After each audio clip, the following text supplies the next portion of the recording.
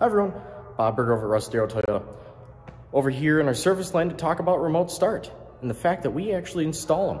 That's right, so if you just bought a car and you didn't have remote start on it would like to add it, we can do that. Or if you're buying a car currently and maybe you got one where it didn't come standard from the factory, we can also add it on that.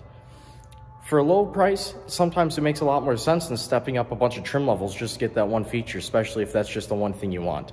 Nothing's nicer than coming out to your car and it's nice, warm, and the snow's melted off. Give us a call at any time at 262-334-9411 and ask for a service department to schedule your remote start install.